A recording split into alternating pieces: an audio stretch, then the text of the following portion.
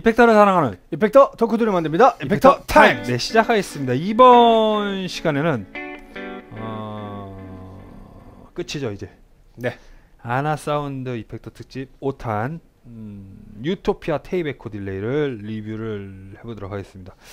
어 저희가 이펙터들을 보통 이 브랜드로 묶으면은 보통 한 세 편 정도에 어, 정리를 하고 다음에 또 보여드린다든지 이런 식이었는데 이번에 어, 다섯 편을 한 번에 그러니까 음, 저는 이 이유가 사장님 휴가에 있다라고 생각합니다.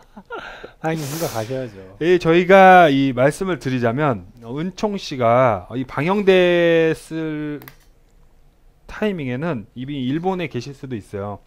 굉장히 오랜 시간 동안 일본 투어를 가시잖아요. 네네. 어, 그래서 저희가 이제 평소보다 조금 많이 몰아서 촬영을 하고 있는 상황이고 음. 이 몰아서 찍으면서 이 리스트들을 항상 이 사장님이 고민 고민해서 이제 짜거든요. 어, 근데 이제 아, 이번에도 고민을 많이 하셨겠지만 어, 이런 타이트한 음, 일정과 휴가 일정이 맞물리면서 약간 정줄을 놔버린 듯한 그래서 하지만 그 덕분에 우리는 이렇게 음. 기분 좋은 브랜드를 또 오래도록 만나볼 수 있었던 것 네, 같아요. 그, 그러, 또 근데 또 장점인 게 이 회사 특징을 한 방에 알 수 있는 오 그런 게 있더라고요. 예, 예, 있는 게 어. 있는 것 같아요. 어, 그러니까 저희가 이 몇 주에 걸쳐서 다뤄보면서 이제 아 원플러가 이런 브랜드구나, 음, 음. 제이로켓이 이런 브랜드구나라고 알았던 아, 것처럼 것처럼. 얘는 한 번에 이렇게 쫙 하니까 아, 얘는 이렇구나. 음. 느껴지네요. 아나 사운드의 유토피아는 스피드와 depth를 조, 조 절할 수 있는 modulation이 적용된 tape echo delay 페달입니다. 요즘 대부분 다 이런 네, 다 있죠. 뭐 대단한 건 아니죠. 그죠. 네. echo filtering은 매우 따뜻하고 빈티지한 톤을 제공을 하고요. delay time은 0에서 400ms. 어, 그리고 쳐 죽일 놈의 internal knob 사용 시 600ms까지 음. 조절이 또 가능하다고 하네요. 90% 이상의 놀라운 snapback effecting을 제공을 하고요. 최신식의 정확하고 차가운 디지털 delay는 이제 구시대의 유물이 되었다고 하네요. 그 뭐냐면 이게 좀, 좀 아이러니하죠. 어, 아날로그가 디지털 보고 야 넌 구시대의 유물이야 라고 음. 얘기하는 시대가 다시 그죠. 요즘 사운드 워낙 그쵸 아날로그 사운드로 가고 있고 특히나. 이제 공간계가 음. 그렇게 돼버리니까 아나 사운드는 최고의 delay를 위해서 PT2399 칩을 선택을 했습니다. 이 서킷은 기타 톤에 매우 자연스럽게 녹아들어 톤을 매우 풍부하게 해주며 기타 플레이를 더욱 돋보이게 해줄 것이다 라고 얘기를 하네요. 이 아나 사운드의 어, 특징이라고 할 수 있죠. 어, 전면에 control knob를 최대한 덜어내고 어, 뒤에다가 음. 때려박는 네. 왜 그런지 어, 모르겠는데. 스타일을 가지고 있습니다. 아니면 약간 이- 이런 식으로 접근은 어떨까요? 뭐, 뭐 이렇게 페달에 붙이긴 힘들, 보드에 붙이긴 힘들겠지만 앞면 뒷면에 knob를 다는 거지. 이게 돌릴 수 있게 양쪽으로. 아, 어, control부터 네, 설명을 드릴게요. 저는 9V DC 정전압 어댑터로 전원을 공급을 합니다. 한 개 인풋과 한 개 아웃풋을 제공을 하고 있고요. Delay, delay time을 조절합니다. Repeat, 음의 반복되는 횟수를 조절하고요. Mix, dry signal과 delay signal을 mix를 합니다. 여기 보시면 mode toggle switch가 있는데 어, 성향이 바뀌는 건 아니고 modulation을 on, off 음. 하는 스위치라고 하네요. 이펙터 내부에는 다섯 개의 internal knob가 채용이 돼 있대요. filtering이 되는 톤을 조절하는 tone knob, delay time을 최대 600ms까지 늘릴 수 있는 more knob, delay effecting의 깊이를 조절하는 depth knob, 음, depth가 거기 있구나. 어, modulation의 스피드를 조절하는 rate knob까지 음. 뒤로 담아버렸어요. 그만큼 자신 있다는 얘기일 수도 있고 이전 시간에 저희가 다뤄봤던 어, comp처럼 lazy comp처럼 어, 게으른 연주자들한테 경종을 울리는 음. 야 좋은 소리 들으려면 뒷판 까. 까야 돼 하는 걸 수도 있고요. LED 라, 발, 라이트의 밝기를 조절할 수 있는 light knob까지 해서 총 다섯 개의 internal knob가 채용되어 있다고 합니다. 예, 사운드부터 음. 들어보죠.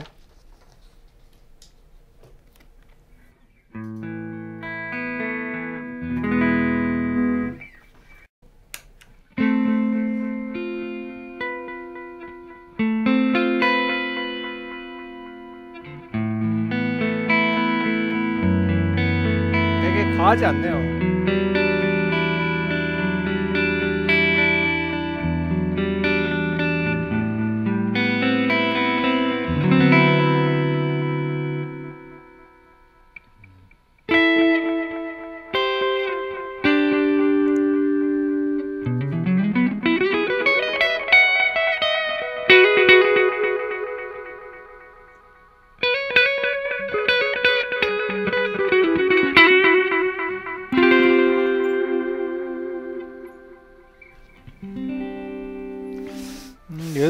특징이 그렇죠. 있거든요. 그리고 확실히 요즘 추세인 것 같아요.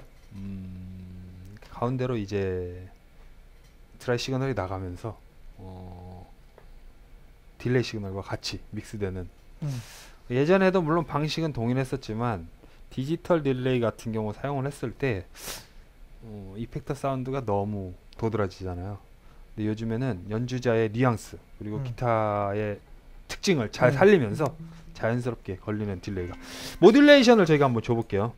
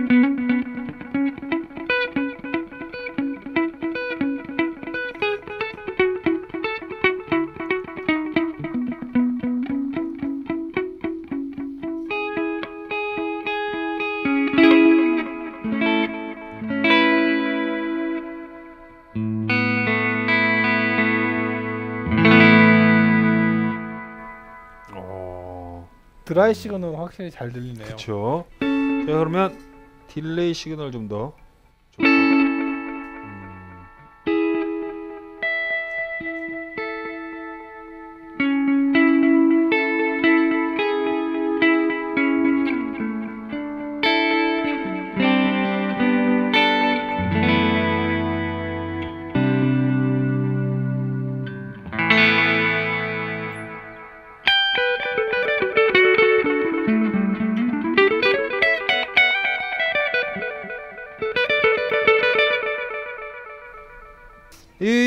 다음은 저희가 딜레이 타임을 좀 많이 줘볼게요. 리핏도 많이 줘볼게요.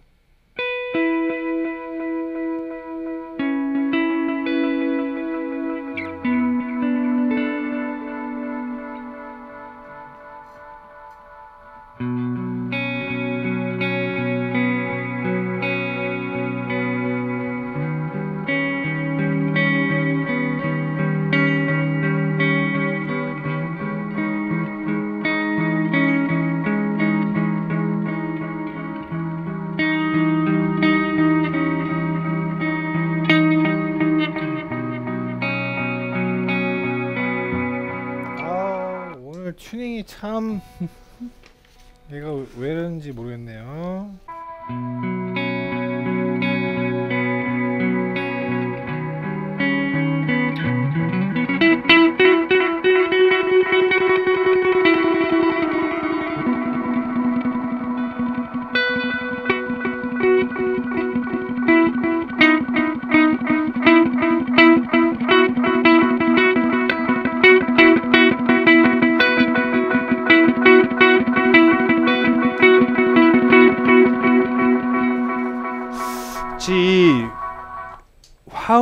쌓아주는 듯한 이 자연스러운 오실레이션이 음. 굉장히 인상적이네요. 네. 확실히 잘 만드는 회사인 것 같아요. 네, 잘 만들기는 잘 만들어요. 음. 그 기술력이 없는 회사 같지는 않고요. 그렇죠. 그리고 한 번씩 이제 이- 생각을 잠깐 짧게 하는 이렇게 실수도 가끔 해줘야 어, 네. 인간적인 면도 있는 거죠. 네. 저희가 이제 뭐 더 테스트를 어떻게 해볼까요? 음, 리핏을 좀 많이 줄이고 짧은 그쵸. 거 숏으로 숏- 한번 숏으로 들어보죠. 한번 뭐. 가볼까요?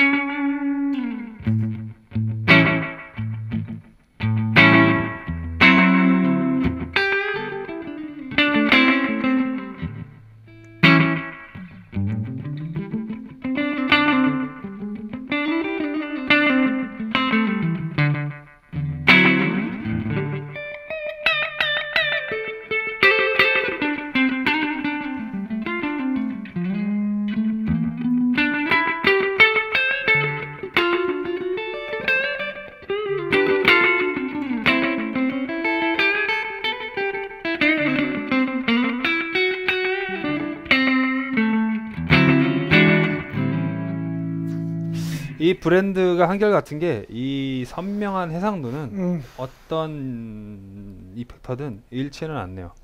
어, 그래서 이 투명하면서도 음. 어, 몽환적이면서도 이 아름다운 사운드가 연출이 되는 것 같습니다. 네, 은총 씨께서 유토피아를 이용을 해서 사운드를 들려주실 거고요. 사운드를 들어보시고 얘기를 이어나가도록 하겠습니다.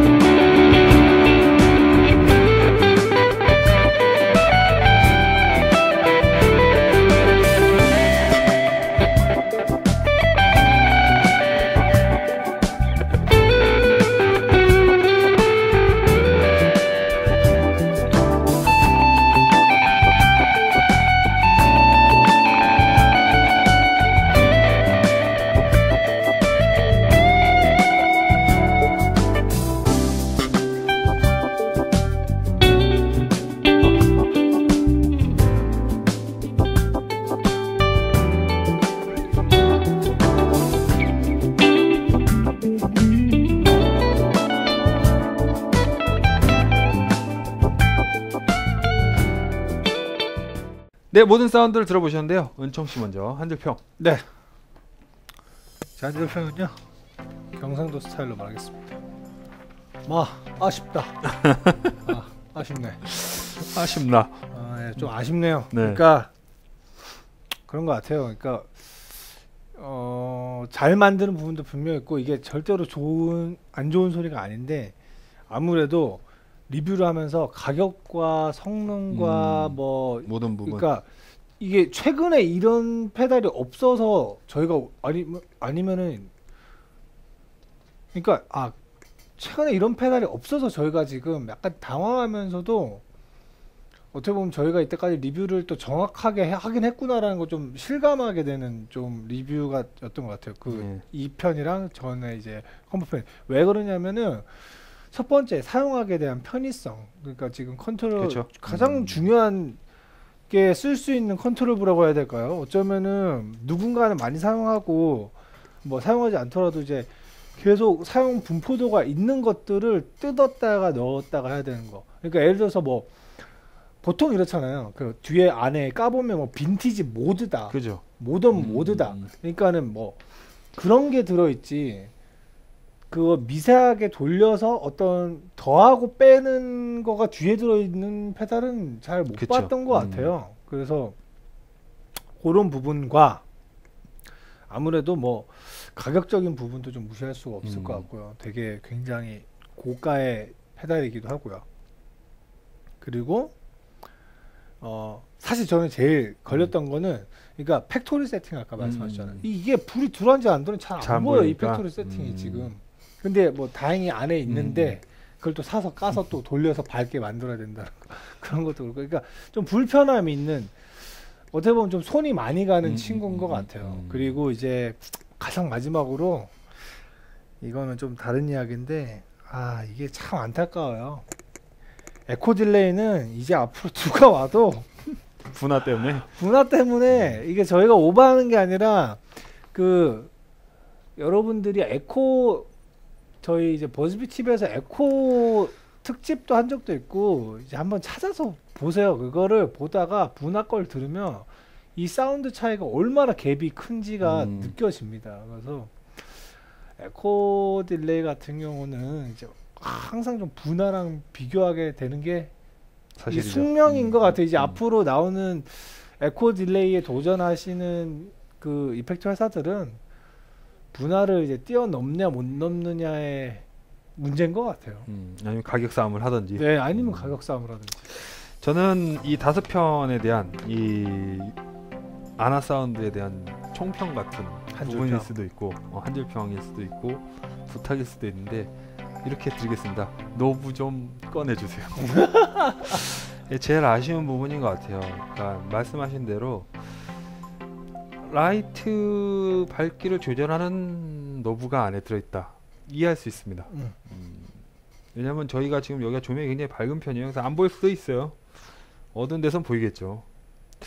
아니면 말씀하신 대로 어, 큰맘 먹고 effector의 성향을 완전히 바꿔주는 음, 예를 들면 빈티지에서 모던 솔직히 그리고 안에 들어가 있는 knob는 돌려도 사람들이 들었을 때 성향 자체를 확 바꾸는 스타일은 또 없어요. 근데 이거 modulation의 rate knob라든지 delay의 깊이를 조절하는 depth knob가 안에 들어있단 말이에요. 이런 거는 제가 봤을 때는 잘못된 생각이다. 어, 댓글 좀 달아주세요. 뭐냐면 나는 야 나는 depth knob 안에 있는 게 좋다라는 분들이 있으면 음. 댓글 좀 한번 달아봐 주시길 바랍니다. 이번에 진짜 아나 사운드 특집은 음, 그러니까 여러분들 그 댓글 다실 때 음, 어, 비판하는 내용은 좋은데 음, 되도 않는 비난은 달지 마십시오. 아시겠죠? 그러니까 이거는 미리 말씀드린 거고 비판하고 토론하는 건 저희도 어, 좋아해요. 그러니까 뭐 저희 모르는 거 알려주시고 뭐 아니면 저희가 좀 잘못 생각할 수도 있지 않겠습니까? 근데 이제 뭐 그런 거는 또 여러분들께서 잘 해주시면 음. 알려주시고 수렴하고 음. 네, 도와주시고 그 아나 사운드 특집 같은 경우는 여러분들의 생각도 굉장히 궁금합니다. 음. 왜냐하면 저희의 편협한 생각일 그쵸. 수도 있다라는 음, 생각도 좀 들어서 조심스러운 부분이 있네요. 음, 그렇습니다. 점수 한번 음, 주도록 할게요.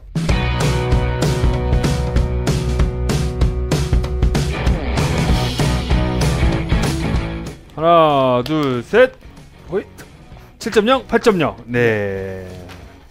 저는 어, 사운드로만 점수를 드렸어요. 네네. 음, 확실히 양질의 사운드를 내줬고 최근 delay의 추세도 잘 따라갔고 어, 그 특유의 아름다운 oscillation이 어, 굉장히 저는 인상적이었다고 생각을 했습니다. depth knob가 들어있건 rate knob가 들어있건 감점 안 하고요. 사운드로만 마지막 편이기 때문에. 네, 저는 사실은 8점 줄 수 있는데 음. 그걸 왜 넣었을까 이 생각에 저 꽂혀가지고 모르겠어요. 네, 왜 넣었을 왜 넣는지는 왜 모르겠어요. 넣었는지 그게 제가 약간 거기 꽂혀서 음, 7점을 드린 것 같습니다. 음, 댓글들 많이 달아주시길 바라면서 이번 시간 마무리 짓도록 하겠습니다. 다음번에는 또 다른 브랜드 이렇게 한꺼번에 네, 다뤄보는 네, 것도 좋을 것 같다는 생각을 가져봅니다. 이펙터를 사랑하는 이펙터 덕후들이 만납니다. 이펙터 타임. 네, 다음 시간에 뵙겠습니다. 감사합니다.